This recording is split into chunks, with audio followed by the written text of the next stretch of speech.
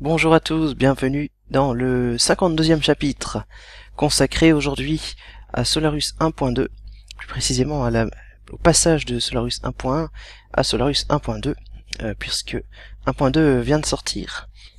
Hum, donc il y a beaucoup de nouveautés, euh, je vous en parlerai plus en détail dans les prochains chapitres. Euh, les principales nouveautés, alors pour du côté de l'éditeur, l'éditeur est plus facile à utiliser qu'avant, il y a pas mal d'améliorations. Je pense que je ferai un chapitre entier sur euh, comment utiliser l'éditeur. Euh, et puis il y a des il y, a des nouvelles choses. Il y a les entités personnalisées, custom entity, euh, qui vous qui sont un nouveau type d'entité. le principe étant que vous le codez entièrement en Lua. Il n'y a, a, rien de prédéfini, donc c'est entièrement personnalisable. Du coup, c'est vachement puissant, vous pouvez faire un peu tout ce que vous voulez. Euh, quoi d'autre? Vous pouvez personnaliser les, les destructibles, c'est-à-dire les vases, les buissons et tout ça maintenant. C'est plus des, des vases, buissons prédéfinis. C'est juste des objets destructibles qui ont certaines propriétés. Enfin, je vous expliquerai tout ça. Euh, pour l'instant, on va télécharger déjà 1.2. D'ailleurs, vous voyez que le, le bloc de développement en anglais a été relooké par NeoVice que je remercie. Alors je télécharge pour Windows. Tuto Solarus. Tac. Donc règle numéro 1, quand vous passez d'une version à une autre, euh, c'est de sauvegarder, bien sûr, vos données. Parce qu'on sait jamais comment ça va se passer. Donc là je vais appeler data euh, Hmm, data. Épisode 51 puisque c'est la fin de l'épisode 51 ok donc j'ai mon zip qui contient sample quest Solarus, Solarus Quest Editor. Donc c'est la même chose qu'avant. Je peux supprimer Solarus euh, sample quest Solarus Quest Editor Je peux supprimer tous les DLL parce que certains ont changé, alors c'est pas la peine de d'en garder qui servirait plus à rien. Je supprime solarus.exe. Euh, puis tout ça, de toute façon, euh, ça va revenir aussi. Hop. Extraire tout dans tuto Solarus.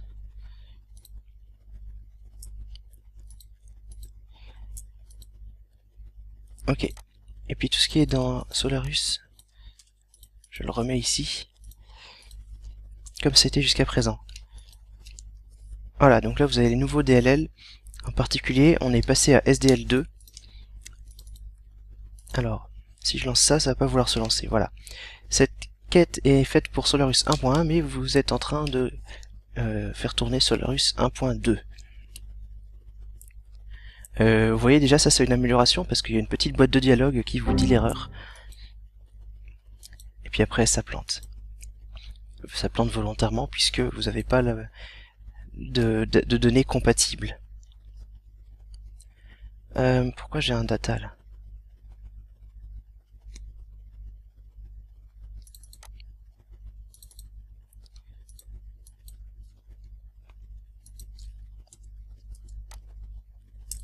J'ai pas bien compris pourquoi j'ai un data parce que je, je, vais renommer en data EP51.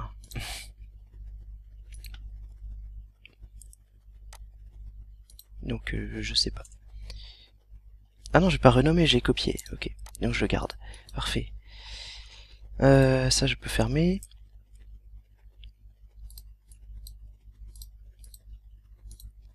Donc si je lance l'éditeur, Voilà, il me dit le format de votre quête est périmé. Euh, vos fichiers de données vont être automatiquement mis à jour vers 1.2. On va essayer. Pas sûr que ça marche du premier coup. Ok, ça marche. Donc là, il explique tout ce qu'il a fait. Euh, si ça vous intéresse, vous pourrez regarder ça plus en détail, mais il y a des choses qui ont changé dans, dans certains fichiers. OK. Le principal changement, c'est le fichier, enfin dans, les fichiers de données, pardon, euh, c'est le fichier de chaîne de caractères strings.dat qui a maintenant cette syntaxe là, alors qu'avant il avait comme syntaxe cette syntaxe là où il fallait mettre des tabulations et c'était pas très pratique. Alors euh, certes c'était plutôt lisible, mais euh, c'était finalement pas si idéal que ça d'avoir un, format euh, comme ça à nous. Alors qu'ici c'est un format standard qui est le même que tous les autres fichiers de données du jeu. Qui ressemble beaucoup à du Lua. Ok, donc on a converti nos données. Alors quand vous lancez l'éditeur, vous voyez déjà un changement. Ah oui, mais c'est vrai, j'avais dit que j'en parlerai dans un prochain épisode. Le changement, c'est qu'on voit les, les ID des maps, les noms des fichiers, à côté des, des noms des, des maps. Euh, mais on n'a pas fini le, travail. Parce que bien sûr, il y a des incompatibilités avec les scripts. Alors rien de bien méchant, mais il euh, faut quand même prendre le temps de, de mettre à jour. Alors, si vous allez sur euh, Wiki, Migration Guide, d'ailleurs en français, puisque ça j'ai traduit en français et en anglais, Solaris 1.1 vers 1.2. Donc là on vous explique qu'il y a deux étapes, mettre à jour les fichiers de données, c'est ce qu'on va faire, c'est automatisé, et mettre à jour les scripts. Là, quand il y a des incompatibilités, c'est à vous de, mettre à jour vos, vos scripts Lua. Bien, bien, bien. Euh, mettre à jour les fichiers de données, c'est fait. Changement. Ah oui, il y a aussi ces petits problèmes-là. Pas que les scripts Lua. Euh, il y a toutes ces petites différences du moteur qui peuvent potentiellement entraîner des, des incompatibilités. Par exemple, les ennemis ne sont plus, ne restent plus coincés si euh, s'ils sont au-dessus d'un bloc ou d'un bloc de cristal. Les blocs de cristal, c'est ceux qui sont, peuvent être euh, en haut ou en bas selon les interrupteurs de cristal. Euh, d'autres petits trucs. Nous, il y en a un qui va nous intéresser. Euh, capacité de sauter, ça on s'en fout. Voilà, c'est ça, c'est les jumpers. Alors ça, je vais m'en occuper tout de suite finalement.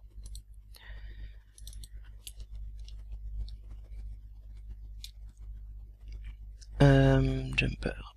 Donc les jumpers, en fait, il y, a des, il y a des problèmes de collision avec les jumpers diagonaux et des problèmes d'affichage aussi. Donc je cherche la map du village, oui, c'est la première tout bêtement, dans laquelle on avait des jumpers diagonaux. Euh,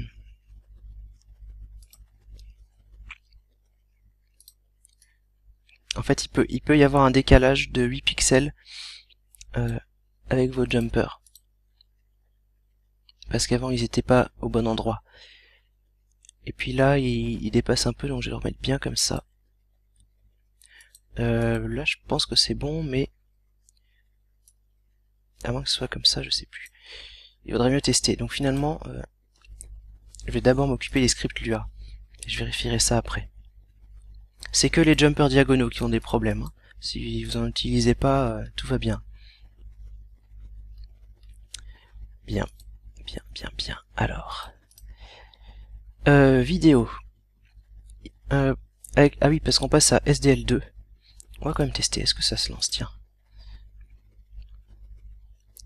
Je suis curieux de savoir. Non, ça se lance pas.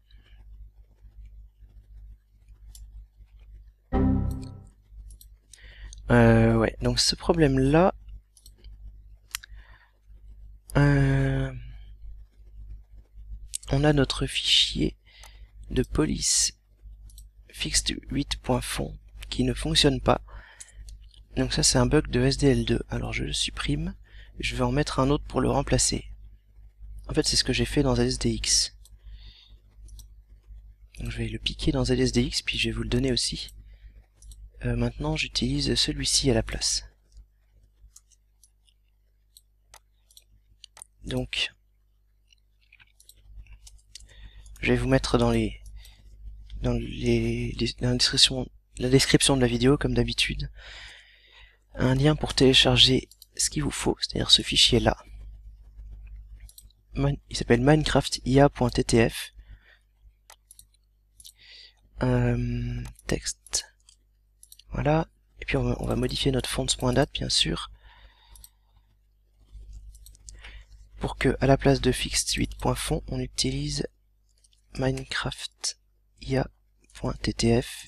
Et la taille, est-ce que ça va être toujours 11 Je vais vérifier ce qui est fait dans ZSDX.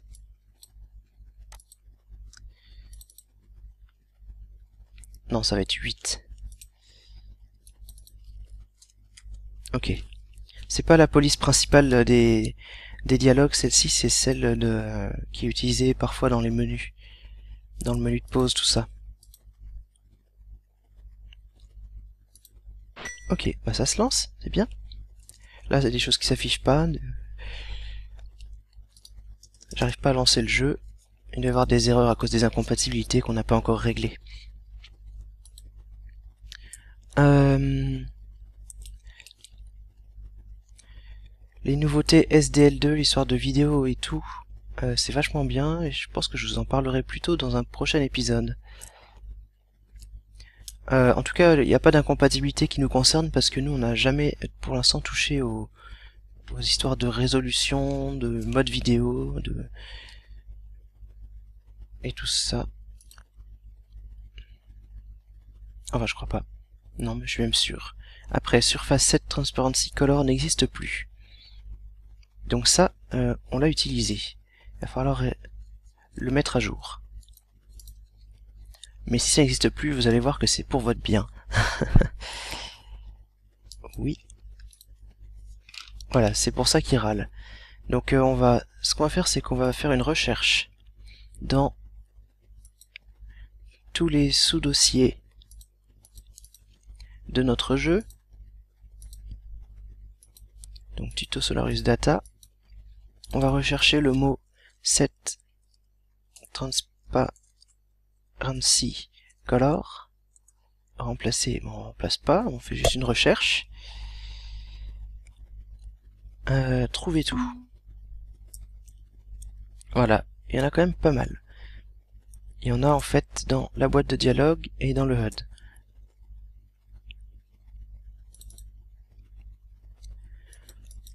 Euh, donc il n'y a plus de notion de couleur de transparence en fait. Vous pouvez plus dire euh, les pixels qui étaient verts, je les considère comme transparents. Parce que tout simplement maintenant les, surfaces, le format de pixels contient déjà une, information de transparence. Donc euh, il n'y a pas besoin d'avoir une couleur spéciale qu'on va remplacer par du transparent. On peut faire du transparent directement et on peut d'ailleurs même faire du semi-transparent. Alors, attendez, je vais pas aller trop vite. Dialog box, là j'ai supprimé le transparency color. Et puis je vais aussi rechercher avec CTRL F euh, fill color. Voilà. Ici, euh, remplir la à chaque dérafiage de la boîte de dialogue, vous voyez, on, remplit la, la boîte de dialogue de noir complètement en fait, ce que, ce que ça voulait dire, ça, c'est remplir de transparent.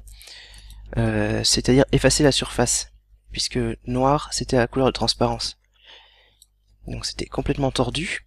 Maintenant, il y a une nouvelle fonction qui s'appelle tout bêtement clear pour vider la surface. C'est-à-dire que tous, les pixels de la surface, après cet appel-là, sont entièrement transparents. Et vous pouvez redessiner dessus.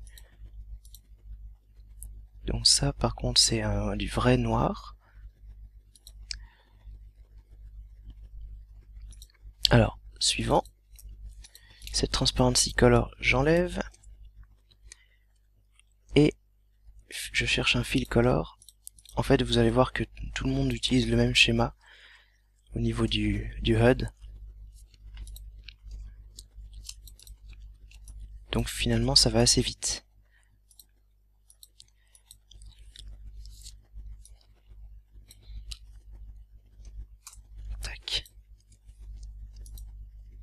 vous pourrez aller voir la documentation hein, de, de, de clear et de fill color pour voir exactement ce que ça fait au niveau des histoires de transparence notamment.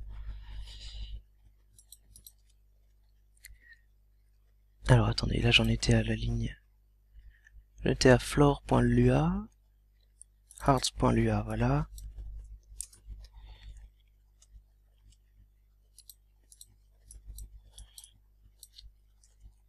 Euh, J'enlève le commentaire puisqu'il est un peu faux. voilà.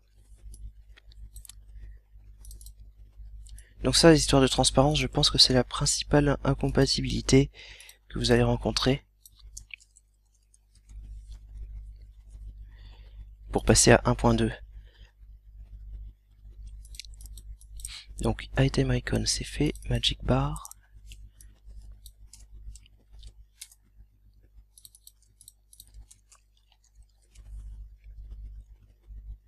Elle a encore 3.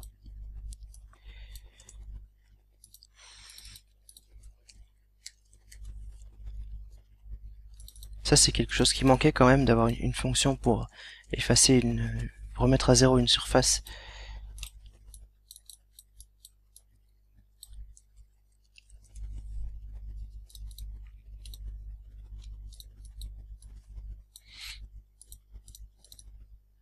Voilà. J'espère que je me suis pas planté. Hein. Voilà pour l'histoire de surface. Euh, objet destructible. Euh, ça, il va falloir qu'on fasse un petit truc, mais il n'y a pas d'urgence. On pourra le faire dans un autre épisode. Je vous expliquerai. Enfin, je sais déjà expliqué là de toute manière.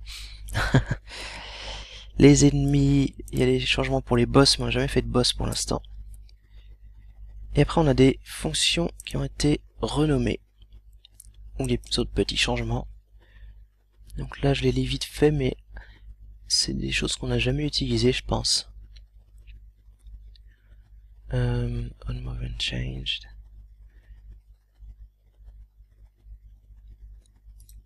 Je pense qu'on devrait pas avoir trop de problèmes avec ça. Même aucun. Voilà, notre écran de sélection remarche maintenant qu'on a réglé l'histoire de transparence. Ah, j'ai plus d'écran de pause. C'est fâcheux. j'ai bien le HUD, mais j'ai plus d'écran de pause.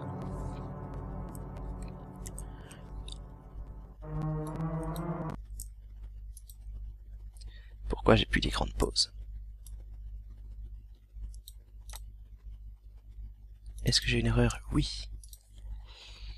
Alors, pause submenu, invalide séquence, invalide escape séquence. Ah oui. Ligne 78. Ah, j'avais déjà eu une erreur dans ce genre avec euh, ZSDX. Donc vous risquez d'avoir l'erreur aussi. Enfin, c'est même, même sûr. Alors attendez. Menu, pause ce menu. Ligne 78. Ok. ligne 78. Là, on a une expression régulière pour récupérer, pour séparer les deux lignes de d'une chaîne de caractères qu'on doit afficher. Et euh, cette expression régulière n'est pas valide. Par chance, elle, elle passait avec l'UA, avec l'implémentation de l'UA euh, classique. Mais là, dans 1.2, on utilise une autre version de l'UA qui s'appelle l'UAGIT et euh, qui est plus rapide, mais euh, qui fait qu'on n'a pas euh, cette erreur là cette fois-ci elle est elle, pose problème bon alors je vais regarder comment c'est fait dans ZSDX à nouveau ça ira plus vite parce que c'est le même menu de pause Ligne 78. Ah oui. C'est pas backslash dollar, mais c'est pourcent dollar. Euh, pourcent, il est où le pourcent Il est là.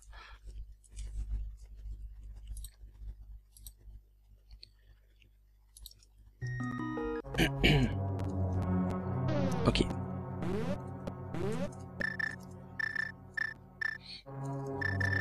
En fait, il s'agit du texte qui s'affiche en bas ici, dans, certaines situations, comme ici quand on sélectionne un objet. Euh, parfois le texte est sur deux lignes. Euh, là, pas dans, notre cas jusqu'à présent. Mais parfois le texte est sur deux lignes. Et dans... C'est justement dans strings.date que tout ça est défini. Tiens, j'ai encore une erreur.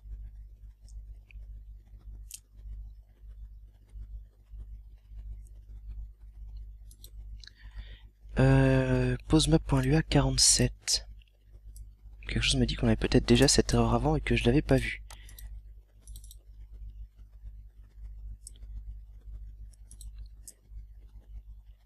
self.herox.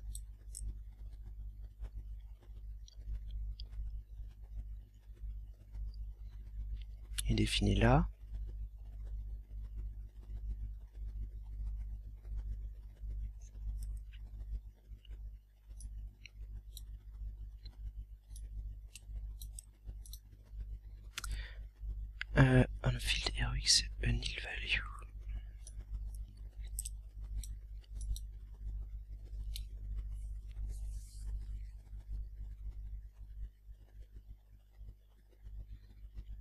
World égal outside ou inside. Et là, je suis dans un donjon. Ah oui. Euh, effectivement, on avait déjà cette erreur avant. Ça n'a rien à voir avec le passage à, Solarus 1.2. Euh, c'est juste que j'ai... Ici, l'écran de carte fonctionne, on a bien la position de Link. Juste le fait que j'avais oublié d'afficher ici le mot carte. Carte du monde. Euh, et c'est dans, les donjons qui fonctionnent pas parce que dans les donjons on est censé faire un autre code pour le... On est censé afficher une toute autre carte mais c'est juste qu'on l'a pas encore fait. Par contre il y a un petit problème c'est que là on voit encore le mot sauver derrière l'icône de l'épée. Euh, ce qui n'est pas très normal. Ça doit vouloir dire que j'ai oublié de faire un clear. J'ai dû aller un peu vite dans... Alors du coup il va encore nous donner cette erreur là, on s'en fiche.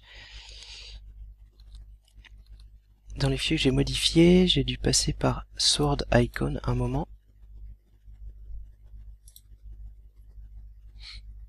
Ah, attack icon, c'est vrai. Annuler, voilà. Ici j'ai supprimé la ligne au lieu de faire clear.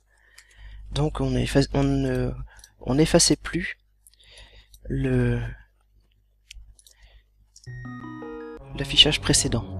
Ok, c'est bon. Tout fonctionne.